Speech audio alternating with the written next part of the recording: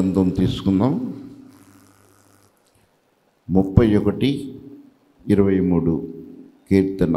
యహోవా భక్తులారా మీరందరూ ఆయనను ప్రేమించుడి. మీరందరూ ఆయనను ప్రేమించుడి. ప్రేమించండి. యహోవా విశ్వాసులను యెహోవా కాపాడును విశ్వాసులను కాపాడును. గర్వముగా ప్రవర్తించు గర్వముగా ప్రవర్తించు వారికి ఆయన గొప్ప ప్రతీకారము చేయును. ప్రతీకారము చేయును. యహోవా కొరకు కనిపెట్టు యెహోవా కొరకు కనిపెట్టుకుని వారులారా. మీరందరూ మీరందరూ మనస్సున ధైర్యము వహించి మనస్సున ధైర్యము వహించి నిబ్బరముగా నుండుడి. నిబ్బరము కలిగిన వారిగా ఉండండి. దేవునికి స్తోత్రము. హల్లెలూయా. యెహోవా భక్తులారా మీరందరూ ఆయనను ప్రేమించు. ప్రేమించండి. యెహోవా విశ్వాసులను కాపాడును. గర్వముగా ప్రవర్తించు. వారికి ఆయన గొప్ప ప్రతీకారము ప్రతీకారం చేస్తాడంట. గర్విష్ఠులకు. దేవుడు ఏమన్నారు చెప్పండి? గర్విష్ఠులు ఇల్లు పెరిగి వేయబడును అంటున్నాడు. నాశనానికి ముందు గర్వము నడుస్తును అంటున్నాడు. పడిపోవటానికి ముందు గర్వం ఉంటుంది. ఆ వారెంత వీరెంత అన్నట్టుగా అనుకుంటూ ఉంటాం. కనుక దేవుడు యహోవా భక్తులారా మీరు నన్ను ప్రేమించండి. నేను మీకు తోడుగా ఉన్నాను. యహోవా కొరకు కనిపెట్టుకుని వారులారా మీరందరూ మనస్సున ధైర్యము వహించి వహించి నిబ్బరముగా నిబ్బరముగా ఉండండి. నిబ్బరము కలిగి ఉండండి. ధైర్యముగా ఉండండి. ఈ లోకములో సా యేసు ప్రభువారిని సాతాను కలవరపరిచాడు. అనేక శోధనలకు గురి చేశాడు. అయినను పర్వాలేదు. ఈ లోకములో ఎన్ని శ్రమలు కలిగినా వాటిని జయించే శక్తి మీకు నేను ఇస్తున్నాను. కనుక యహోవా భక్తులారా మీరు నన్ను యథార్థతగా ప్రేమించండి. కొంతమంది ఏం చేస్తారు? శ్రమలు కలగగానే బాధ రాగానే విడిచిపెట్టేస్తారు. దేవుని మందిరానికి కూడా రావట్లేదు కనుక అది యథార్థమైన ప్రేమ కాదు. ఆ ప్రేమ ఎలాంటిది ఉండాలి చెప్పండి? శ్రమైనా వేదనైనా దుఃఖమైన ఖడ్గమైన క్రీస్తు ప్రేమలో నుండి మే మనలను ఎడబాపున. అది యథార్థమైన ప్రేమ. ఆ ప్రేమలో నిలుస్తున్నట్లుగా మీరు నిలబడండి. తప్పకుండా మిమ్మలను దేవుడు కాపాడతాడు. కనుకని దేవుడు మన ఎడల తన ప్రేమను తెలియపరుస్తున్నాడు. దినదినము కూడా చూడండి. నిర్గమకాండము చూడండి. తొమ్మిదవ అధ్యాయము ముప్పై నాలుగో వాక్యాన్ని చూడండి. అయితే అయితే ఫరో వర్షమును వడగండ్లను ఉరుములను నిలిచిపోవుట చూచి అయితే పరో వర్షమును వర్షమును వడగండ్లను వడగండ్లను ఉరుములను ఉరుములను నిలిచిపోవుట చూచి నిలిసిపోవుట చూచి అతడును అతని సేనకులను అతడును అతని సేనలను ఇంకా పాపము చేయుచు ఇంకా పాపము చేయుచు తమ హృదయములను తమ కఠినపరచుకొని హృదయాలను వారు కఠినపరుచుకొనిరి. యెహోవా యెహోవా మోషే ద్వారా పలికినట్లు మోషే ద్వారా పలికినట్లుగా ఫరో హృదయము ప్ర- పరు యొక్క హృదయము కఠినమాయను. కఠినమాయను. అతడు అతడు ఇస్రాయేలీలను ఇస్రాయేలీలను పోనీయకపోయెను. పోనీయకపోయెను. పరో ఏమంటున్నాడు చెప్పండి? శ్రమ కలిగినప్పుడల్లా పరో మీదకి దేవుని తెగుళ్ళు వచ్చినప్పుడల్లా ఆయన మీదకి కప్పలే రాని పేలే రాని చీకట్లే కమ్మని వరగళ్ళు పడని గొప్ప గొప్ప వర్షం పడని ఆ బాధ రాగానే మోషే ఆరోనులు పిలవండి అంటున్నాడు. పిలిచి అయ్యలారా ఈ శ్రమ నుంచి నాకు విడుదల చేయండి. నేను తప్పకుండా మీ దేవుణ్ణి నేను నమ్ముతాను. మీరు దేవుణ్ణి ఆరాధించండి. మీరు ఏది అడుగుతారో అది ఇస్తాను అంటున్నాడు. బాధ కలిగినప్పుడు మొక్కుకుంటున్నాడు. ఆ తర్వాత బాధ పోగానే ఏం చేస్తున్నాడు చెప్పండి? అతను హృదయము కఠినమైపోతుంది. మరలా మామూలుగానే అయిపోతున్నాడు. దేవుడు ఏమన్నారు చెప్పండి కఠిన హృదయులకు ఆయన తీర్పు తీరుస్తాడు. కీర్తన గ్రంథంలో మనం చదువుకున్నాం ఆయనను ప్రేమించే వారిని ఆయన ప్రేమిస్తున్నాడు. ఆయన ఎడల కఠినముగా ప్రవర్తించిన వారికి గొప్ప గొప్ప ప్రతీకారం చేస్తాడట. కనుక నీ హృదయాన్ని మెత్తన చేసుకోమని శ్రమ ఎందుకు కలిగింది అంటే నీవు మార్పు చెందాలి అని మారు మనసు పొందాలి అని ఆ నిత్య నాశన అగ్నికి ఏ ఒక్కరూ వెళ్ళకూడదని ఆ పాతాళములో అగ్ని సావదు పురుగు ఆరాదు. అలాంటి ఒక అగ్నికి మనము వెళ్ళకుండా ఆయన బిడ్డలందరినీ కూడా క్రమశిక్షణలో నడిపించాలని. ఎందుకంటే మనం అందరము కూడా ఆయన క్రమములో రావాలి అంటే కొన్ని శ్రమలు దేవుని యొక్క మరి నీతి మార్గములో నడిచినప్పుడు ప్రభువుకి వచ్చినాయి శ్రమలు. కనుక లోకములో మీకు శ్రమ కలుగుద్ది. ఎందుకంటే లోకములో నుంచి నేను మిమ్మల్ని అందరినీ వేరు చేశా. కనుక లోకం మిమ్మలను భేషించుద్ది హింస పెట్టుద్ది. అయినను మీరు ధైర్యంగా ఉండండి. కనుక దిగులు పడకండి. కనుక లోకములో ఉన్నప్పుడు మీరు వారితో జట్ట పట్టాలు వేసుకుని అన్ని విషయాలలో పాపులతో తిరిగారు అబద్ధికులతో కలిశారు మోసగాళ్ళతో జీవించారు. అలాగే కాలాన్ని బట్టి ఏ కాలంలో ఏ ఒక్క పరిస్థితులను బట్టి మీరు అదే ప్రవర్తన కలిగి ఉన్నారు. కనుక లోకము మీతో మిమ్మలను స్నేహితులుగా చేసుకుంది. కానీ ఇప్పుడైతే ఆ లోకములో నుండి నేను మిమ్మల్ని అందరినీ వేరు చేశా. ఆ లోకం మిమ్మలను శ్రమ పెట్టుద్ది. దేవునికి స్తోత్రము. అయినను మీరు ధైర్యంగా ఉండండి. గర్విష్ఠులకు ఆయన ఏం చేస్తారు చెప్పండి? గొప్ప ప్రతీకారం చేస్తాడంట. చూడండి ఆ సామెతల గ్రంథము పదమూడో అధ్యాయము పదో వాక్యంలో దేవుడు అక్కడ ఏమంటున్నారు చెప్పండి? ఆయన గర్వము వలన గర్వము వలన జగడమే పుట్టును. గర్వము నీలో ఉంటే ఏమొస్తుంది చెప్పండి? వాడెంత వీడెంత అని చెప్పి జగడాలు పుట్టును. పుడతాయి. ఆలోచన వినువానికి ఆలోచనలు వినువారికి జ్ఞానము కలుగును. జ్ఞానము కలుగును. దేవుని మాటలు వినిన వారికి ఏం కలుగు చెప్పండి? జ్ఞానం. జ్ఞానం కలుగుతుంది. కనుక గర్వముగా ప్రవర్తించే వారి వల్ల వచ్చే నష్టాలు ఏంటి చెప్పండి? జగడములు. వాడు చెడేది కాకుండా వారు చెడేది కాకుండా మన్న కూడా నీకేం పర్లేదు నీ ఉండు అంటారు. మన్న కూడా చెరగొడతారు. కనుకని దుష్ట సాంగత్యము మంచి నడవడిని చెరుపును కనుక మేల్కొని మీరు పాపము చెయ్యకండి మీలో కొందరికి జ్ఞానము లేదు కనుక ఈ.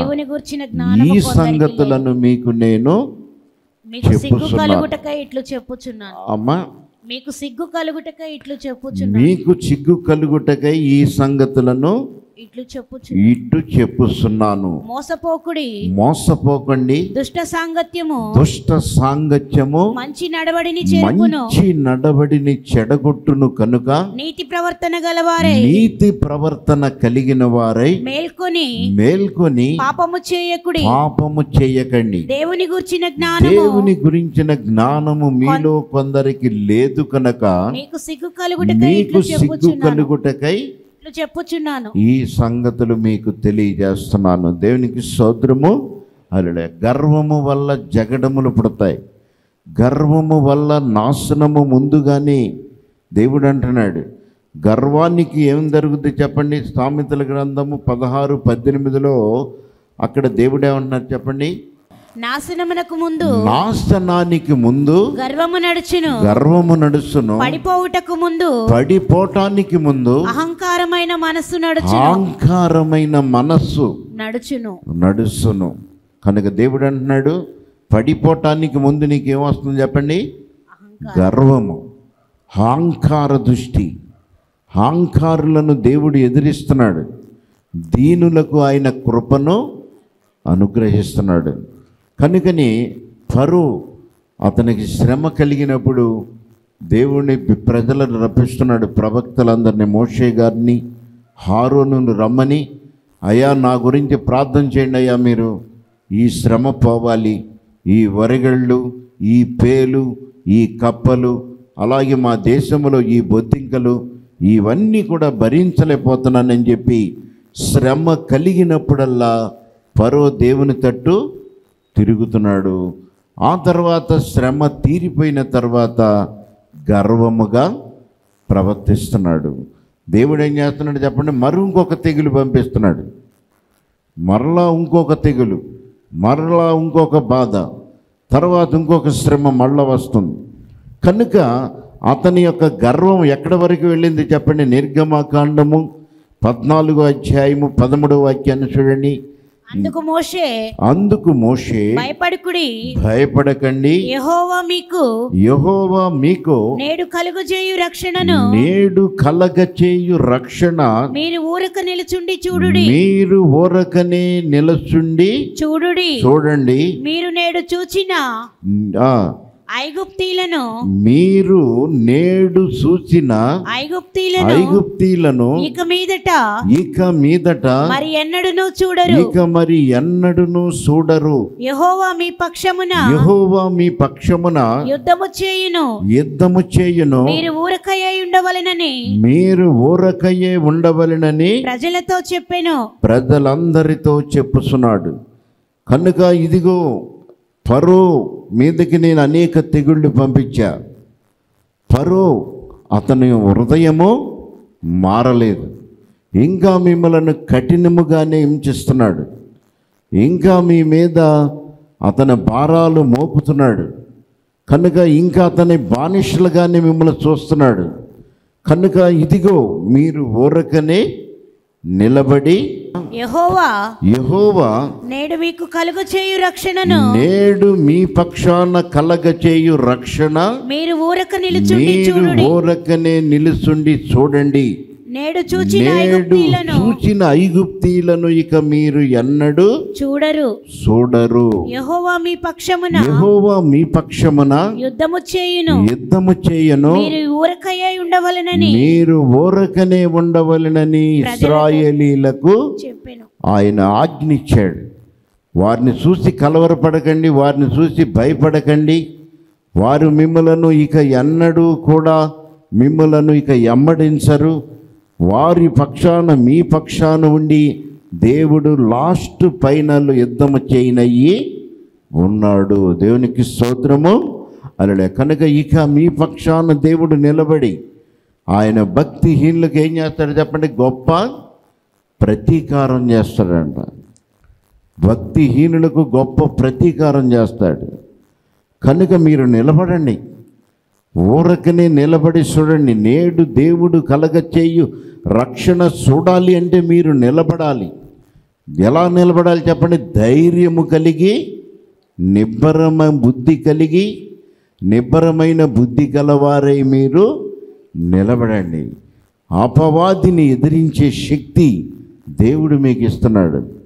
కనుక అపవాది గద్దించు సింహము వలె వాడు ఎవరిని మింగుతున్నాను వెతుకుతూ తిరుగుస్తున్నాడు కనుక తగ్గిన సమయంలో మీకు దేవుడు మీ పక్షాన నిలబడతాడు.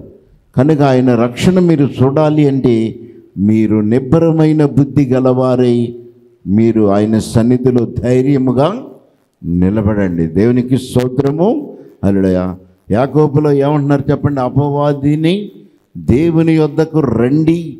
అప్పుడు అపవాదిని మీ మీ యొద్ద నుండి పారిపోను. చూడండి యాకోబు పత్రిక నాలుగు అధ్యాయము అనుకుంటా ఏడు చూడండి.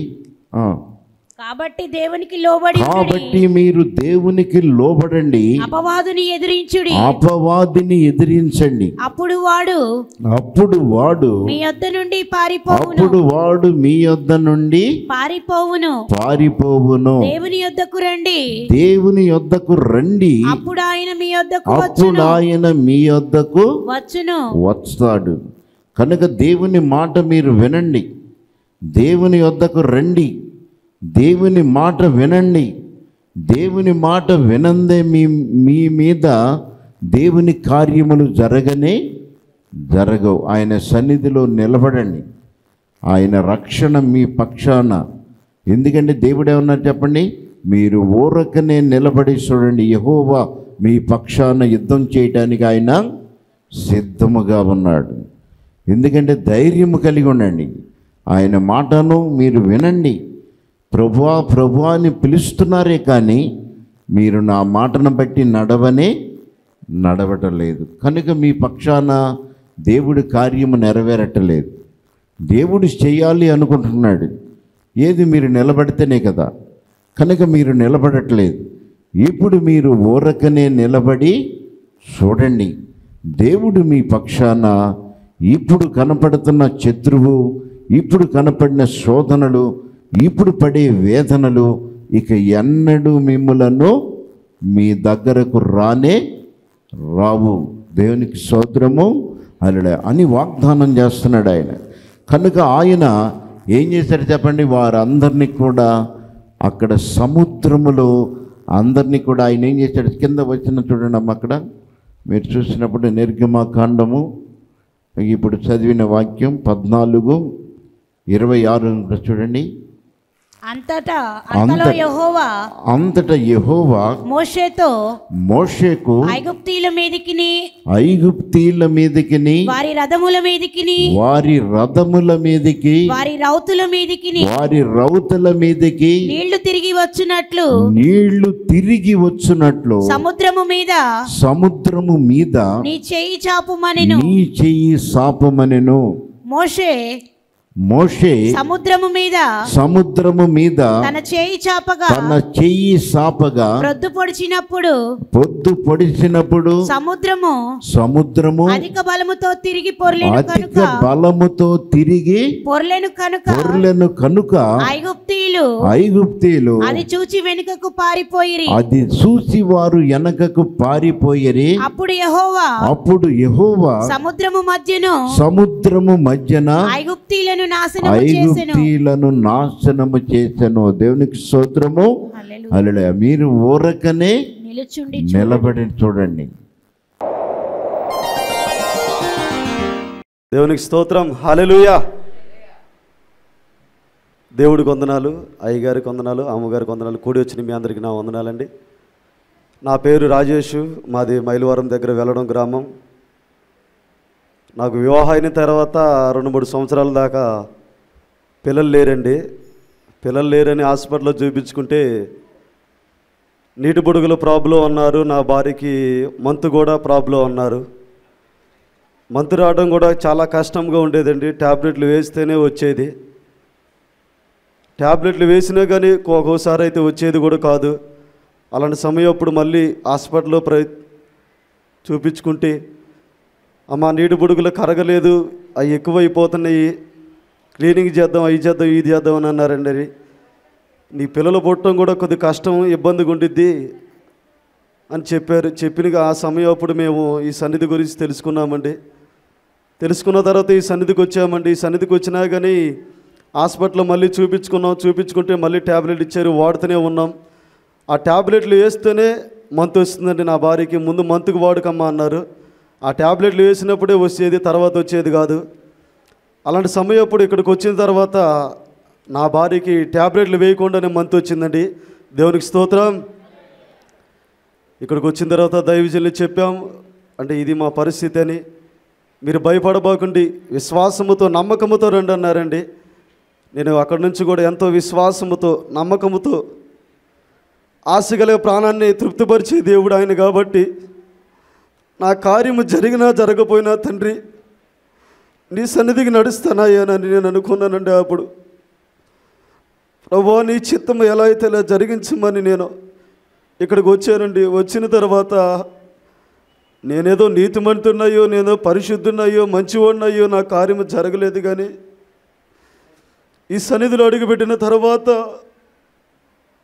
ఏర్పాటు చేసుకున్న నా దైవజనులు చేసిన ప్రార్థన బలాన్ని బట్టి ఏ నా ఏసయ్య కృపను బట్టి అనుకోకుండా నా భార్య గర్భఫలం ఇచ్చాడండి. దేవునికి స్తోత్రం. నేనైతే అనుకోలేదండి. కాకపోతే నడుస్తున్నాను ఆయన సన్నిధికి నడుస్తున్నాను. ఆశతో నడుస్తున్నాను. కార్యము జరిగినా జరగకపోయినా ప్రభువ నన్ను ఈ సన్నిధికి నడిపించినందుకై స్తోత్రములని. పాపులలో ప్రధాన పాపినండి నేనైతే చెప్పాల్సి వస్తే ప్రధాన పాపి నేను నన్ను మరి. ఆ దేవుడు ఎందుకు ఇక్కడికి నడిపించాడు నాకు అసలుకి అసలు ఆలోచించుకుంటేనే చాలా ఆశ్చర్యంగా ఉండిద్దండి. మరి అలాంటి వాడిని నన్ను ఇక్కడికి నడిపించి మమ్మల్ని ఈ స్థితిలో దేవుడు నిలబెట్టాడు. అమ్మాయి పుట్టేటప్పుడు కూడా చాలా ఇబ్బందులు పడిందండి. తర్వాత దేవుడి దేవులో ఒక అమ్మాయి పుట్టిందని ఎంతో ఆనందపడ్డాం. తర్వాత నేను అనుకోలేదండి మళ్ళీ నా భార్య గర్భఫలం వచ్చిద్దని. ఆ దేవుడు ఎంతో గొప్ప దేవుడు అండి మనం అడిగి వాటికంటే అత్యధికంగా ఇస్తానని చెప్పిన దేవుడు. ఒక బిడ్డని చాలు ప్రభు అంటే రెండో బిడ్డని గిఫ్ట్గా ఇచ్చాడండి. దేవునికి స్తోత్రం. మళ్ళీ నా భార్యకి గర్భఫలం వచ్చిద్దనే కానీ మంతు కూడా వచ్చిద్దని నేను అనుకోలేదండి. అలాంటి సమయం ఇప్పుడు ఈ సన్నిధి బలాన్ని బట్టి ఈ సన్నిధిలోనే ఉన్నదండి. ఆ బలం అనేది ఆ శక్తి అనేది దేవుడు ఎట్టి వ్యాధి గలవాడనైనా కానీ స్వస్థపరుసనని వాగ్దానం ఇచ్చాడు దేవుడు. ఈ సన్నిధికి ఎన్నో వాగ్దానాలు ఉన్నాయి ఆ వాగ్దానాలు బట్టి వాళ్ళు చేసిన ప్రార్థన బలాన్ని బట్టి మళ్ళీ నా భార్య గర్భం వచ్చిన తర్వాత నేనైతే ప్రభు మరి నీ చిత్తం ఎవరైతే వారిని ఇవ్వండి ప్రభు అని అన్నప్పుడు మరి అమ్మగారు ప్రార్థన చేసి అయ్యా నీ కంపల్సరిగా మగబిడ్డే పుడతాడయ్యా అని చెప్పారండి. మరి దేవుడు దేవుడు అనుకున్నా కానీ వారి బిడ్డలు మాట పక్క నా బిడ్డలు పలికారు కాబట్టి జరిగేయాలనుకుంటాడేమో కానీ మాకు తెలియదు కానీ వారి మాటను ప్రకారం దేవుడు మగబిడ్డని దయచేశాడండి. దేవునికి స్తోత్రం. ఇప్పుడు మా కుటుంబం అంతా ఈ సన్నిధానంలో ఎంతో ఆనందంగా ఉంటున్నామండి. ఎన్నో ఇరుకులు ఎన్నో ఇబ్బందులు వచ్చినా కానీ ఆ సమస్యలు ఆ బాధలు అటన్నిటి నుంచి నా దేవుడు విడిపించాడు. మంచి ఆనందాన్ని ఇచ్చాడు. కానీ నేను ఆనందాలు కోరట్లేదండి. నా ఆశల్లా సన్నిధికి ఉపయోగపడాలి దారి తప్పే బిడ్డలుగా కాకుండా దారిలో నిలబడాలని నేను ఎంతో చెప్పుకోవాలి సాక్ష్యం అనుకున్నాను కానీ మన సంఘ బిడ్డలందరినీ చూస్తే చాలా బాధేసి చెప్పుకోలేకపోతున్నానండి. సమయం లేక దేవుడిచ్చినందుకు వందనాలు. కంపల్సరీగా దేవుడు కార్యము చేస్తాడండి. నమ్మకంతో విశ్వాసంతో రండి. ముందు నా కార్యము జరగలేదేంటి? జరగాలి జరగాలి జరాలి అనుకుంటా ఉండబోకండి. నీ చిత్తమైతే నీ చిత్తమయ్యా అనుకుంటా రండి. ఆశతో ఆయనే కార్యం జరిగిస్తాడు. ఈ గొప్ప సాక్ష్యం దేవుడు దీవించును గాక. హల్లెలూయ. దేవునికి వందనాలండి అయ్యగారికి వందనాలు అమ్మగారికి వందనాలు కూడి ఉన్న ఈ సంఘస్థలందరికీ హృదయపూర్వక వందనాలండి. గత నెల నుంచి నాకు మా ఇంట్లో వాళ్ళందరికీ బాగా ఫస్ట్ నాకు అటాక్ అయిందండి కరోనా. నాకు అటాక్ అయ్యి నాకు వచ్చింది కానీ నాకు మూడు రోజుల్లోనే దాని నుంచి నాకు దాని సిమ్టమ్స్ బాగా ఒక మూడు రోజులు తీవ్రంగా చూపించింది. తర్వాత నాలుగో రోజుల నుంచి నాకు అసలు ఏమీ లేనట్టే అసలు కరోనా అనేది వచ్చిన పోయింది. నాలుగో రోజు నుంచి అసలు ఏ ప్ర- సమస్య లేదు నాకు. కానీ నేను నాకు వచ్చిందని తెలవటంతోనే సపరేట్ రూమ్లో వేరేగా ఉండిపోయి అసలు వాళ్ళకి ఝాన్సీకి పిల్లలకి అందరికీ దూరంగా ఎటు ఇటు అటు తలుపులు వేసేసి సపరేట్గా ఉండేవాడిని. అయినా సరే వాళ్ళకు కూడా వచ్చింది. కానీ ఝాన్సీకి చాలా బాగా సీరియస్ అయింది. కానీ కరోనా కాకుండా వేరే ఇంకా వేరే రకాల ఆరోగ్య సమస్యలతో చాలా ఇబ్బంది పడింది. అది ఇంకా ఎంత సీరియస్ అయిందంటే అది మళ్ళీ హాస్పిటల్ వరకు వెళ్ళి అక్కడ స్కానింగ్లని అయ్యని ఇవని తీసి చాలా ఇబ్బంది పట్టింది. ఇదన్నీ చెప్పడానికి మెయిన్ కారణం ఏంటంటే ముందుగా ఈ పౌర్ణమి రోజు ఆరాధన అటెండ్ చేయకపోవటం బాగా తనకు నమ్మకం ఏంటంటే ఝాన్సీకి పౌర్ణమి రోజు కన్నా ఆరాధన అటెండ్ చేసి మనం ప్రేయర్ చేసుకొచ్చుకుంటే ఆ రోజు ఎటువంటి వ్యాధులు ఉన్నా సరే ఎటువంటి ఇది ఉన్నా సరే అన్ని స్వస్థత బాగా చేకూరుతుంది ఈ విశ్వాస మందిరంలో అని తనకు ఒక గట్టి నమ్మకం ఏర్పడిపోయింది. అలాగే కిందటిసారి ఈ కరోనా వల్ల రాగలేకపోయాం. అంతకు ముందు సారి ఒకసారి మిస్ అయ్యాము ఈ పౌర్ణమి రోజు ఆరాధన. అలాగే అప్పుడే అనుకున్నాం అది మిస్ అవటం వల్లే ఇంత ఇదిగా కరోనా వచ్చి అందరికీ బాగా సమస్యలు తెచ్చింది. కానీ రావటం అయితే ఒక అల్లకొల్లోలం అయిపోయింది. డబ్బులకి డబ్బులు అయిపోయినాయి ఆరోగ్యం ఆరోగ్యం చాలా దెబ్బతింది అప్పుడు అందరికీ పిల్లలకు కూడా మా పెద్దోడికి వచ్చింది చిన్నోడికి రాలేదు కానీ. ఆడికి బాగా జ్వరం అది వచ్చింది. ఇక అదే అనుకున్నాం ప్రభువా ఇక పౌర్ణమి రోజు ఆరాధన మాత్రం మిస్ అవ్వకుండా వస్తాము అని సాక్ష్యం చెప్పుకుంటాము ఆ రోజు కూడా. సాక్షుడిగా నిలుస్తాం ప్రభు అని ప్రేయర్ చేసుకుంటే ఆటోమేటిక్గా చాలా అద్భుతంగా అందరికీ తగ్గిపోయి మంచి స్వస్థత చేకూర్చిందండి. అలాగే అమ్మగారికి అయ్యగారికి ఫోన్ల ద్వారా చెప్పి ఎప్పటికప్పుడు ప్రేయర్ చేయించుకునేవాడిని వాళ్ళు కూడా ప్రేయర్ చేసి సహాయం చేసినందుకు ధన్యవాదాలు. అలాగే మళ్ళీ ఇంకా కొంచెం అనారోగ్యంతోనే ఉందండి ఝాన్సీకి. ఆమెను గురించి కూడా మళ్ళీ అయ్యగారిని అమ్మగారిని మీ అందరినీ వేడుకుంటున్నాను. ప్రార్థన చేయమని ఈ గొప్ప సాక్ష్యం దేవుడు దీవించను కాక